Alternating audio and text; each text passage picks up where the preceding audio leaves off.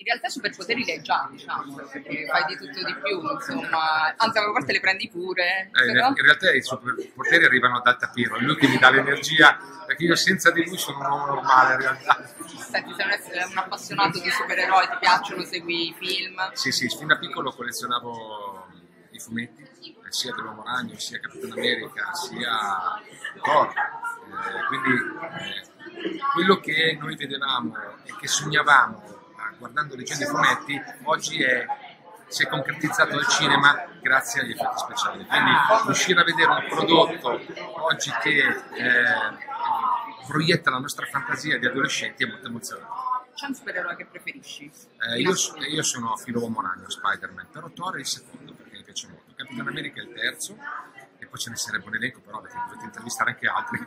Ma Spider-Man è il più distrattato, però, lo sai, dei supereroi sul web, soprattutto. Beh, ma a me quello che pensano gli altri Sono bravo, importa. bravo. Io ho la mia storia di Spider-Man. Spider-Man per me è un supereroe, Peter Parker è un excursus molto interessante e poi soprattutto fa parte della mia infanzia, quindi per me quello è il numero uno. Ma tu sei d'accordo? Pienamente d'accordo. anche con l'eroe preferito?